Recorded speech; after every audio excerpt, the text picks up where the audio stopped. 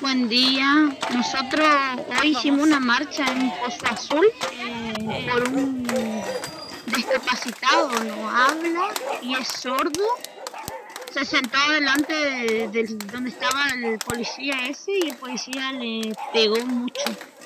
Le desfiguró, la cara y le, pegó contra un muro.